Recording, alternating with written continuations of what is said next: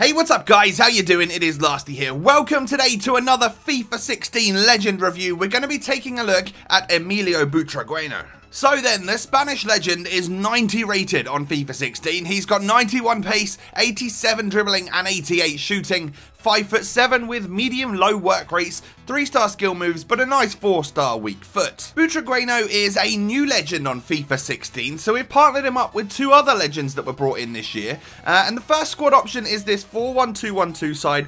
It's cheaper in the defence and midfield options, but then of course you've got that mighty legend strike force. And then another option for a team today is this 4-3-1-2 side. We've got the same legends up front, but we've got different players in the midfield and defence, the likes of uh, informed but Bonucci, the likes of Pogba, Rooney, Iniesta all feature in this extremely formidable team. So it's in-game stats time. If you're watching on the YouTube channel, click that first link in the description. It's going to take you to the Spanish Legends page on the site where you can see his awesome in-game stats. Now if I had to choose three stats which stood out for me in-game, I'm definitely going for 90 attack positioning, 92 acceleration and 94 finishing. And this sums Butragueño up perfectly, leading me on to his pros and cons. Of course we'll get the negatives out of the way first first. The main problem with this guy, or he has two main problems. The first being his skill moves, only 3 star, you know, I've said it before, it means that you lack a bit of versatility going forward. But his main problem is his whole physical and strength aspect of his game. He isn't very strong. Only 60 strength in game can be a bit of a problem. He's a likely target to get pushed off the ball,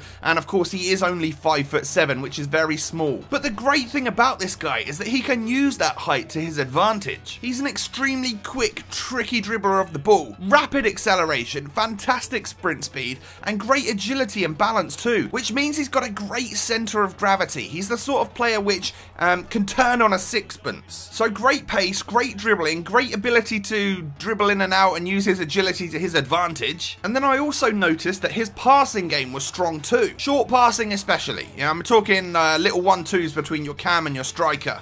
They seem to work very well. And then quite possibly the best bit about this guy is his finishing. His shots seem to have enough curve, enough power, enough I don't know, long shot ability, and he always found the back of the net. He definitely feels like a 90 rated legend in the shooting department. So my advice to you, use this guy to his full advantage. Go on these mazy, tricky little runs, weave in and out of defenders using the no-touch dribbling, and you'll have great success with him. Pick him up now on the Ultimate Team Market, or of course in the FUT Draft game mode. Let me know how you get on, and I hope you've enjoyed today's video. Thanks so much for watching, and we'll catch you next time. Peace.